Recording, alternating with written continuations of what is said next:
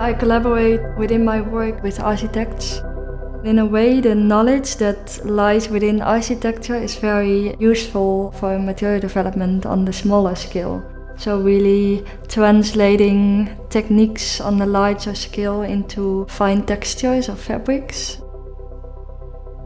My crystallization collection was my first time I collaborated with architects. The architects, Benthem and Crouwel, they were working with 3D printing back then for their model making, and I was really fascinated by the intricacy in detail. When I started with 3D printing, I was using it very much the way an architect would be using it, but now the knowledge of fabric making is really implemented in the way we work with a 3D printer. For example, collaboration with the University of Technology in Delft where we created like a, a, tulle fabric that was woven but then was put into a 3D printer and the 3D printer becomes more like a new form of embroidery I would say.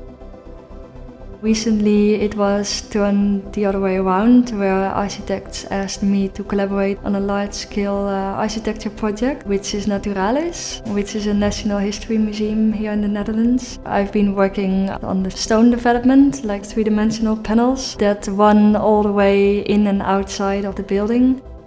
I wanted to add some softness to the building, and of course, I can't bring in the softness of my work into a scale like that, but I did want it to look as soft as, uh, as a garment.